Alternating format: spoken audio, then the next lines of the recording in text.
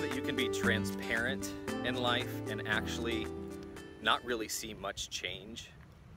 Have you ever wondered why that is? It's like, I am a person that is honest with how I feel.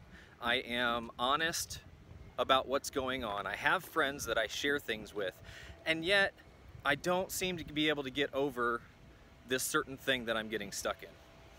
Well, that's because you're being transparent and not vulnerable. See, transparency is really easy, actually. It, it might feel scary, but it's relatively easy. Because transparency only requires you to be honest about something that you experienced, or that you're processing, or a thought that you're having. Vulnerability is actually inviting someone in to those moments, not after the fact. Oh, we got some lighting here. Not after the fact. See, vulnerability is when I'm feeling really insecure and I'm processing something super scary and I'm stepping into something new and I don't know what's going on and I'm I'm nervous, scared. I shouldn't be, but I am.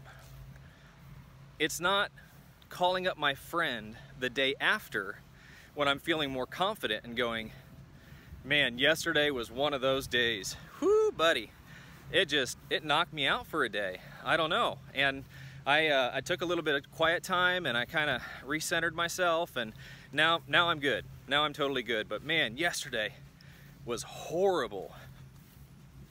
So that sounds like you're being vulnerable. But in reality, you're being transparent because that has already happened. That fear, that emotion, that negative experience that you're having is behind you.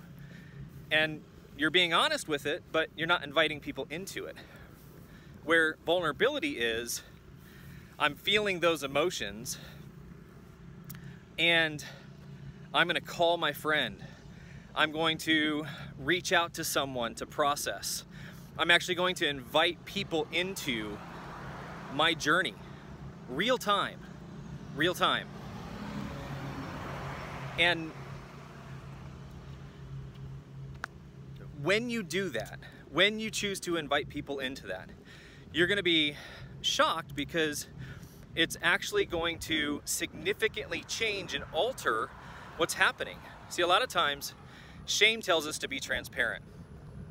Vulnerability tells us to be brave.